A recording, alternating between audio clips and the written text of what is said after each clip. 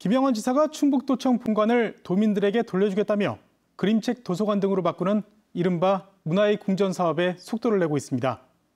시민사회는 물론 도청 내부에서도 필요 없다는 의견이 더 많은데 내년까지 무려 150억 원이 투입될 예정입니다. 충북도의회 행정사무감사에서도 이 사업에 대한 질타가 쏟아졌습니다. 정재영 기자가 보도합니다.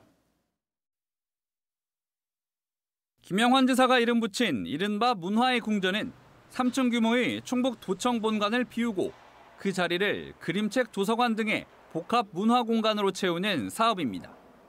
한창 공사 중인 충북도의회 새 청사가 내년 7월 문을 열면 현재 도청 신관을 쓰는 도의회가 통째로 옮겨가기 때문에 본관 사무실들은 그 자리를 쓰면 된다는 겁니다.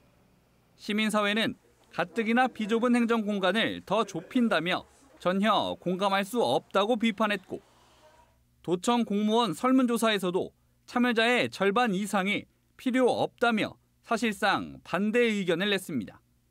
그런데도 충청북도는 도의회 새 청사를 일부 쓰면 공간이 충분하다며 일사천리로 진행하고 있습니다.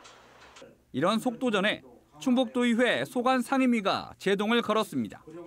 나중에 예결위가 부활시켰지만 당초 이 사업 설계비 예산을 전액 삭감했던 행정문화위원회였습니다.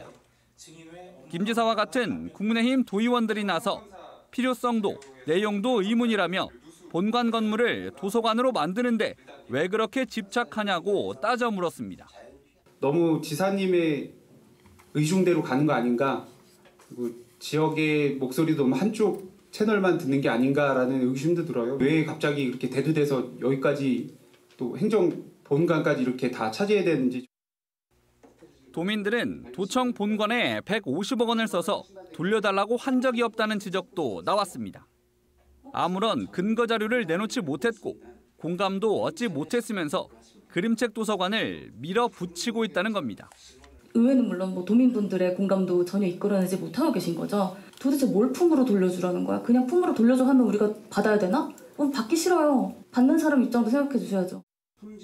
의무사항인 문화 영향평가조차 거치지 않았다는 질타와 전 직원 의견 수렴부터 하라는 요구도 이어졌습니다. 충청북도는 전 직원 설문조사는 추진하겠다면서도 구도심 활성화를 위해 필요하다는 기존 입장을 굽히지 않았습니다. 실시설계하면서 의원님들하고 자주 그 보고 드리고 협의해서 좋은 방법으로 가도록 하겠습니다. 내년에 역대급 세수 결손이 예상된다면서도 문화의 궁전 자녀 사업비 146억 원 전액을 내년도 예산안에 반영한 충청북도. 이달 말 시작될 도의회 예산 심사가 관심을 끄는 이유입니다. MBC 뉴스 정지영입니다.